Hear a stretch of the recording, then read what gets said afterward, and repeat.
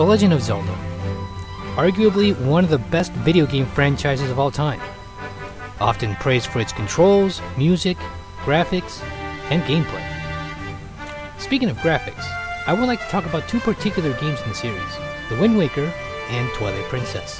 These games, in a way, kind of rivaled each other in the past. One was meant to be a fresh take on the series, while the other took a rather serious approach.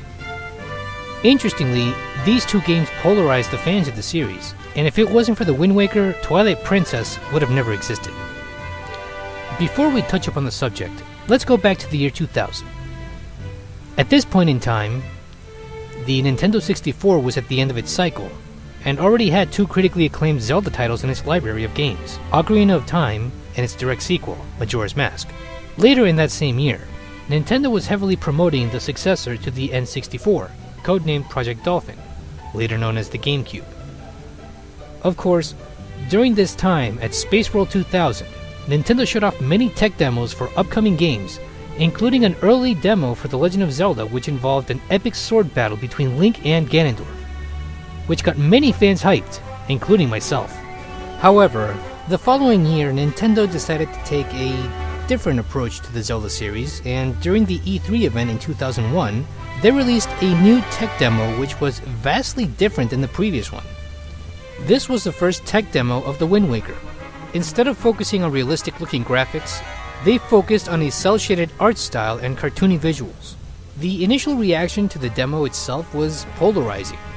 Some liked it, others were disappointed by it. Shigeru Miyamoto was surprised at the reaction to the footage, and the media's claimed that Nintendo was shifting its focus to a younger audience when he said that he wanted to extend Zelda's reach to all ages.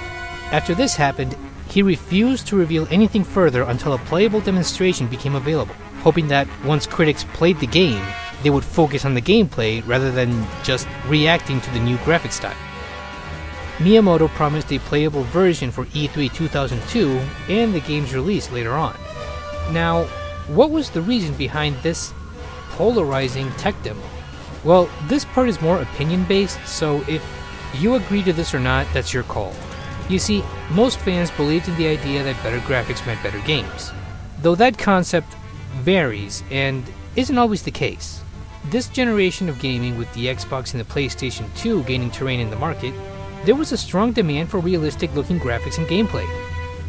We had titles like Capcom's Devil May Cry, Ubisoft's Prince of Persia, and EA's take on Lord of the Rings. They excited consumers and were praised for its realistic visuals and hack and slash adventure gameplay. The North American market mainly preferred realistic games over artistic visuals, thus spoiling gamers that praise realism above anything else. A movement that continues to this day. On another note, fans of the Zelda series expected a true sequel to the last two games, and fans wanted to see their hero grow up with them over the years. Fans expected the first tech demo version to be the final product, yet they were disappointed over the Wind Waker version, expecting more realism instead. But as we've learned over the years, true continuations of Zelda games just, well, they happen, but few and far in between since Zelda games took huge twists and turns chronologically, and over the years, it developed a confusing timeline which was eventually cleared up much later. Aside from that, some Xbox and PlayStation owners I knew over the years were constantly snubbing this cartoony Zelda game, calling it childish, and preferring darker, grittier, and even gorier adventure games. Some critics went as far as calling this version Powerpuff Link, because of its cartoony comparison to the Powerpuff Girls, which is very odd. The GameCube's toyish design didn't help either, which is another reason why Nintendo was stuck in third place in this generation's console wars. Things got really aggressive. The Wind Waker started off as a controversial game, but this later paid off when critics started praising the gameplay and controls in E3 2002, and was later released worldwide in 2003 with critical acclaim. Despite its visuals, it was still a Zelda game at heart. However, sales were kinda sluggish in the market, according to Eiji Aonuma. So, despite Nintendo's drastic attempts to appeal to a general audience, they had no choice but to fulfill demands for a realistic Zelda title later on. This is the reason why Twilight Princess started development, shortly after Four Swords Adventures, but that's another story. Originally developed as Wind Waker 2, it was given a drastic change, being darker and more serious, and was brought up at E3 2004 to thunderous applause, with Miyamoto showing off with sword and shield in hand and discussing the new title that was going to be released for the GameCube. Fans described this as a spiritual successor to Ocarina of Time. Now, during the Tokyo Game Show in 2005, Nintendo was introducing their new console codenamed Revolution, later becoming the Wii. The console introduced wireless motion controls and left Zelda fans slightly confused because there was some uncertainty about the next Zelda title either being a GameCube exclusive or a Wii exclusive. In order to satisfy demands, the game was released on both consoles. Interestingly enough, the Wii was confirmed to be backwards compatible with the GameCube games too, so you kinda wonder. Anyway, though both versions are essentially the same story, the Wii version had different controls and gameplay compared to the GameCube's control, and the game was completely mirrored, mostly for right handed players, despite the fact that Link used to be traditionally left handed. This game was also critically acclaimed, and also a commercial success. Though in retrospect, Twilight Princess interestingly became a product of its time, while The Wind Waker eventually grew on fans through word of mouth and even spawned two sequels on the DS using the same visual style Phantom Hourglass and later on Spirit Tracks. In the long run, The Wind Waker had developed a bigger fan following, and it was even given an enhanced remake on the Wii U, while Twilight Princess has been mostly ignored, with the exception of Link's crossbow training and the references in Hyrule Warriors on the Wii U. In a situation like this one, it makes you wonder if realism matters or not in a Zelda game. 15 years ago, it was all about the graphics and realism. Now, gamers and critics of this generation are slightly more open minded and accepting when it comes to showing off a new visual art style. When Skyward Sword was announced, its visuals became a hybrid of both styles. As a Zelda fan, I have grown to enjoy all games in the franchise. They're all unique in their own way. No game is truly perfect, and everyone has different opinions about which Zelda game is the best. What matters here is that Nintendo is never afraid of taking risks. Despite the rivalry that existed between these two titles, I'm glad to own both of them due to their historical significance. In conclusion, fans should just enjoy The Legend of Zelda for what it is an adventure. This is Hadouken Dude, thanks for watching.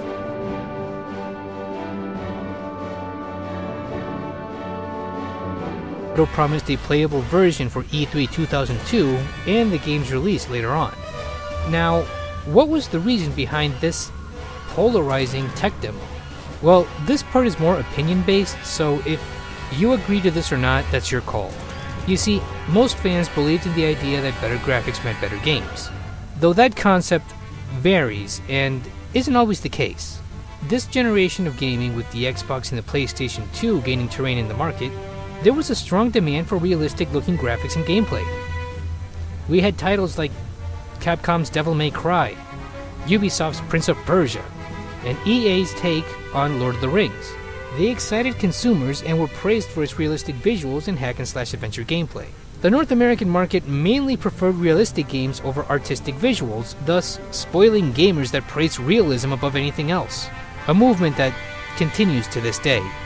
On another note, fans of the Zelda series expected a true sequel to the last two games, and fans wanted to see their hero grow up with them over the years. Fans expected the first tech. Nintendo showed off many tech demos for upcoming games, including an early demo for The Legend of Zelda, which involved an epic sword battle between Link and Ganondorf, which got many fans hyped, including myself. However, the following year, Nintendo decided to take a different approach to the Zelda series, and during the E3 event in 2001, they released a new tech demo which was vastly different than the previous one. This was the first tech demo of The Wind Waker. Instead of focusing on realistic looking graphics, they focused on a cel shaded art style and cartoony visuals. The initial reaction to the demo itself was polarizing. Some liked it, others were disappointed by it. Shigeru Miyamoto was surprised at the reaction to the footage, and the media's claimed that Nintendo was shifting its focus to a younger audience when he said that he wanted to extend Zelda's reach to all ages. After this happened, he refused to reveal anything further until a playable demonstration became available, hoping that once critics played the game, they would focus on the gameplay rather than just reacting to the new graphic style. Miyamoto demo version to be the final product, yet they were disappointed over the Wind Waker version, expecting more realism instead. But as we've learned over the years, true continuations of Zelda games just, well, they happen, but few and far in between since Zelda games took huge twists and turns chronologically, and Over the years, it developed a confusing timeline which was eventually cleared up much later. Aside from that, some Xbox and PlayStation owners I knew over the years were constantly snubbing this cartoony Zelda game, calling it childish, and preferring darker, grittier, and even gorier adventure games. Some critics went as far as calling this version Powerpuff Link, because of its cartoony comparison to the Powerpuff Girls, which is very odd. The GameCube's toyish design didn't help either, which is another reason why Nintendo was stuck in third place in this generation's console wars. Things got really aggressive. The Wind Waker started off as a controversial game, but this later paid off when critics started praising the gameplay and controls in E3 2002, and was later released worldwide in 2003 with critical acclaim. Despite its visuals, it was still a Zelda game. The Legend of Zelda.